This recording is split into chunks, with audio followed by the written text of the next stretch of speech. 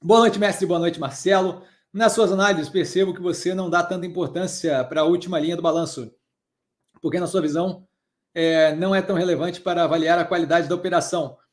Porque resultado líquido é consequência de qualidade operacional, é consequência de estrutura de capital, é consequência de momento econômico.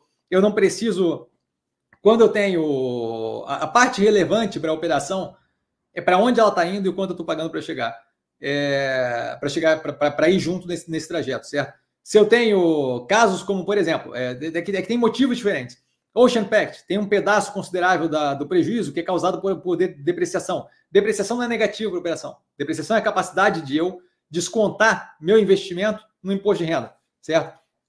Então, aquilo ali é positivo, aquilo ali me, me reduz custo e eventualmente vai sumir, certo? Então, o que eu estou tendo, a parte relevante é fluxo de caixa, por aí vai. Então, o resultado líquido quer dizer zero ali, tá? Negativo.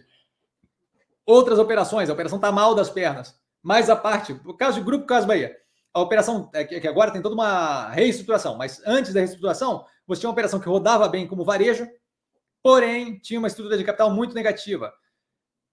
Se eu consigo ver essa dinâmica, eu sei que aquele prejuízo é resolvido se eu resolver a estrutura de capital, mesmo mantendo a qualidade operacional. Então, eu sei que o problema não é uma questão da operação em si, a operação sabe rodar, o problema é a questão da estrutura de capital.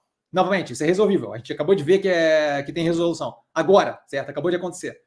É, você tem uma operação que está passando por um período de. Vamos, é que, é que não me vem exemplo agora. Bom, Azul, dando prejuízo atrás de prejuízo. Azul vem de um momento onde teve uma pandemia que afetou diretamente o setor dela, tomou uma raquetada, teve que alavancar até o talo para poder passar por aquilo.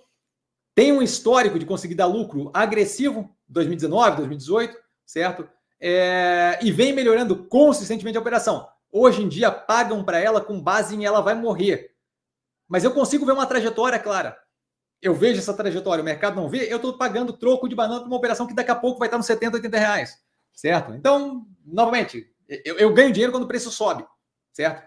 É, então, tá, esse é mais um exemplo. Então, basicamente é isso. Eu, eu não tenho que. O bottom line é uma consequência de tudo que é relevante. De modo que eu não preciso olhar aquilo dali para ver que é relevante.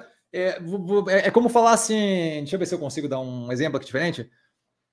É, é, é como falar, você, você, não, você não olha tanto assim, né? Para de, de fora assim, da, da casa, você não olha tanto para casa para ver se a casa está bem. Se eu tenho a planta, se eu tenho a estrutura de engenharia, a base de, de, de onde coloca, é, é, sei lá como é que chama, não sei porque eu escolho exemplo de engenharia, que eu não entendo lufas. É, se, eu, se, eu, se eu tenho, vamos, vamos medicina que eu acho que é mais fácil. Se eu tenho eletrocardiograma, se eu tenho exame de sangue, se eu tenho não sei o que, eu não preciso ver o corpo do paciente para saber que ele está bem. Certo? Ah, você não olha o corpo do paciente. Não, eu não preciso, eu tenho tudo ali. Está tudo ok com o resto, eu não preciso do corpo. O corpo do paciente vai estar bem, porque é consequência desse negócio todo.